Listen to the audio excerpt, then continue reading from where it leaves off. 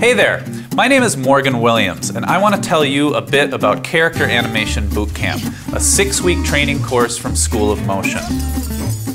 The first time most motion designers try to animate a character, they discover that it's way harder than it looks. When you're animating a character as opposed to, say, a, a logo, you run into some unique challenges. You're no longer just trying to make a few separate pieces of a thing move well. You're trying to make dozens of pieces of a character, all of which are connected, move beautifully, while still paying close attention to several animation principles, including proper staging, posing, balance, follow through. There's a lot to confuse you. Making it even more difficult is the fact that most motion designers work primarily in what's called a straight ahead fashion. However, with characters, we really want to use a technique called pose to pose, and it's a very different way of working than you're probably used to.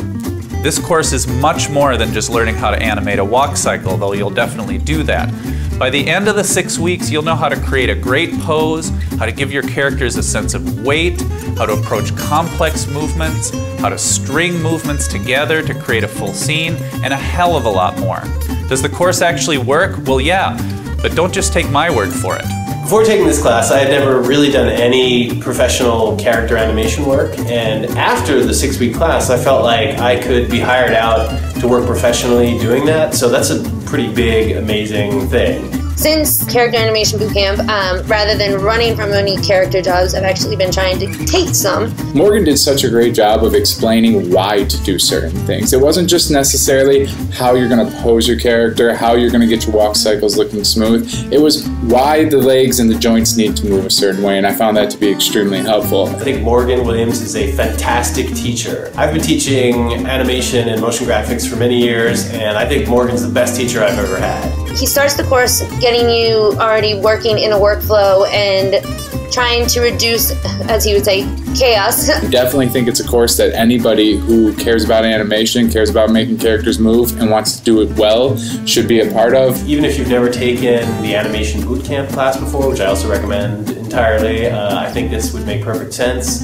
and I just loved it. It's going to put you ahead of the game. Once you sign up, you'll get access to a private Facebook group just for your session, where you'll interact, critique, and encourage the other brave animators who are going through the course with you. You'll learn and then be tested on every lesson.